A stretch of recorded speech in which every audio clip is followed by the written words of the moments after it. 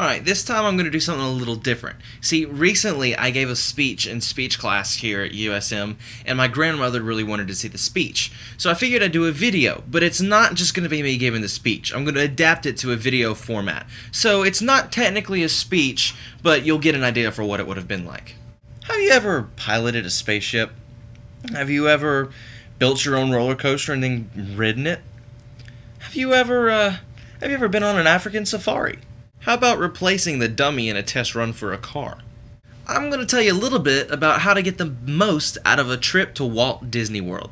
By the end of this video, you should be able to make decisions that will lead to the best Disney trip you could possibly have. You see, Walt Disney World is the most magical place on earth, and it has something to offer everyone of every age. It just does. Now, I'm telling you this uh, because, according to a report from the Themed Entertainment Association in 2010, the top eight most visited theme parks in the world are all Disney theme parks, and and the Disney Disney just dominates the whole list up to the top 20 and so forth.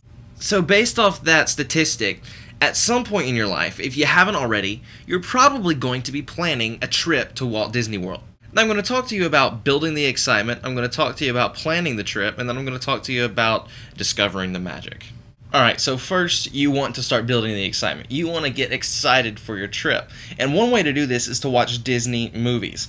Uh, I know that as a kid, and even now, and probably especially now, all I have to do is start watching a Disney movie, and I get excited, and I want to go to Disney World. Because there's that opening scene where it goes over the river, and then it looks up at the Disney castle, and Walt Disney World sparkles over the top, and I oh, it melts my heart and makes me want to go to Disney. And so that just watch Disney movies. If your favorite movie is Pirates of the Caribbean, if it's The Lion King, if it's uh, Princess and the Frog, I don't care. Watch Disney movies. It builds your excitement, I promise. Now, see, the next thing you can do to build excitement is to learn about the hidden magic. See, Susan Veness, in her book, The Hidden Magic of Walt Disney World, says that there are over 600 secrets hidden throughout the four theme parks, uh, the four kingdoms of Walt Disney World.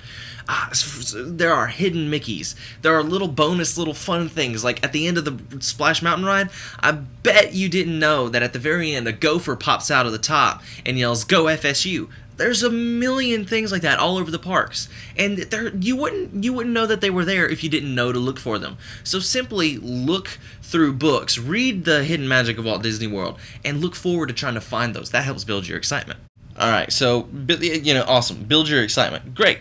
Now the next thing is you want to plan the week, uh, the whole week is in its entirety. And the first step is to uh, to to make a budget. Set a budget for yourself. Now, see, you can stay on Disney property for anywhere from fifty to five hundred dollars a night. So don't let your budget stop you. There, you can go just don't let budget stop you. There's a Disney vacation for every budget. Second, you want to plan the date. You want to go in the summer or on a holiday. You also want to think about the crowds. You see, the Marx family, who are the authors of Passporters Walt Disney World, they say that the busiest time to go is the holidays, with the summer following a close second. So you want to take the crowds into consideration, but conversely, those busy times, like the holidays, they can also be some of the best times. So in the end, it really matters what you want when you're considering the crowds. Another thing to do during this time period where you're planning your week is your ADRs, which is your advanced dining reservations. You see, if you're planning a table dinner while you're going to be there, you want to start early, calling ahead and saying, hey, we need a reservation for this many at this time. Because I'm telling you, if you try to do that while you're there, it's highly unlikely you'll get in. Because these restaurants, those nice table dinner places, they book up. So you need to go ahead and take care of that right now.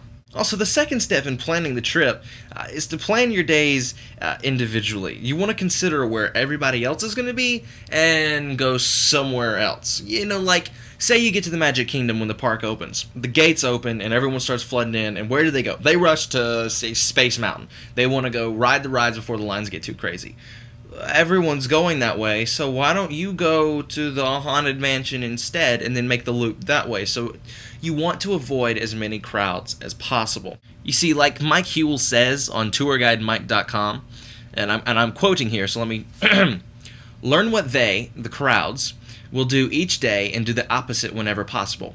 Zag when they zig, and it goes on. This helps you maximize your time in the parks, uh, no matter how busy it is. All right, now that's uh, that's that's getting excited. That's building your excitement before the trip, planning the trip. Now, are you ready for the best part? Discovering the magic.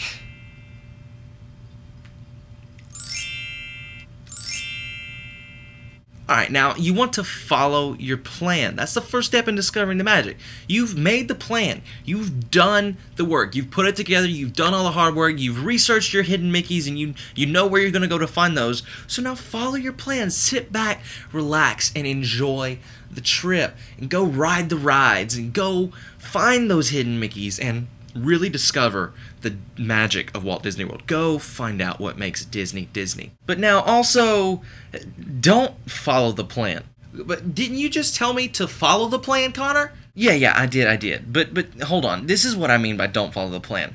You see, if you get too caught up in your plan, you, might not make time for the little things that happen at Disney World. And I'm telling you, there's a ton of these little things. You don't want to get so caught up with your plan that you don't make time for them.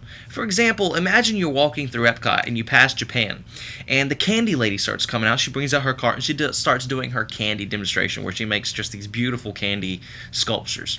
You want to have time to just stop by and watch. It's really an enjoyable thing. If you're so caught up in your in your plan that you're like, no, no, no, no, we got to get to this place right now, you're gonna miss those little moments that really, really make a Disney trip. And so you might feel like you've rushed through your entire vacation and completely missed the whole point and all the magic of Disney World. So you definitely don't want to get too caught up in your plan. So now I dare say you're close to ready for your own adventure. There's a lot more stuff I could cover uh, in in this little video, and there's a lot more stuff you can learn. So just go go get some books like Passporter's Walt Disney World or or The Hidden Magic, and learn more about what there is in Disney World. What I've covered is only a small amount of what you really need to know to get the best out of a Disney trip, but I'm hoping what I've told you will get you started. So uh, go go have fun time. Go do that. It's it's been great. We covered we covered building the excitement. We covered planning the trip, and we also covered going and having the best time possible. So my question to you is: Have you ever piloted a spaceship? I've done that. Have you ever uh, have you ever been on an African safari? I've done that too. Nah, I've I've never been to space, and I've not even been to Africa. But thanks to the magic that is Walt Disney World, uh, my favorite place on earth, I've been able to discover what I normally might never have been able to to go and experience truly and it's it's it's just a blast. So if you ever find yourself planning your own little Disney trip, take a little bit about what I've talked about in this video and go and have the best time possible. It's really my favorite place, and, and, and I promise you, doesn't matter how old you are, how young you are, Disney World is the best place ever. All right, well, that's that. This is probably going to end up being a little longer than the speech was. I had to cram all that into three or five minutes, which I actually did really well. But there you go. That's what it was, and I hope you've got an idea. I love Disney World. I'm going to be working at Disney World very just just next semester. Oh, I'm so excited. It's, it's super exciting. I got the job, and I'm going to go move to Florida and work at Disney World. But anyway, besides that, that's enough for this video. Thanks for watching. DFTBA, please, please, please hit that subscribe button right up above me, and please also click that like button. It really helps me out. It makes me feel good inside. It just makes me feel like you love me, and I know you do. So please just hit that, and I'll uh, see you guys next time.